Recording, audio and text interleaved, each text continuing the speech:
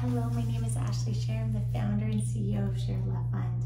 Let us explore chapter 14, verse 24 together.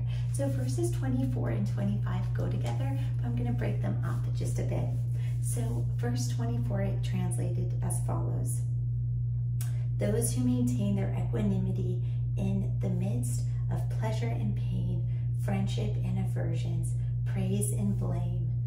And I'm going to um, cut this video and then we'll um, catch up on this when we couple it with verse 25 because it really goes together. But basically, um, Krishna here is um, naming the attributes of those um, that attain um, freedom from the repetitive birth and life cycle. So we sort of have um, like almost like a resume quality list of what gets you to that point where you can leave um, that continuing birth and death cycle and remain at peace. So we'll continue this in the next video. Namaste.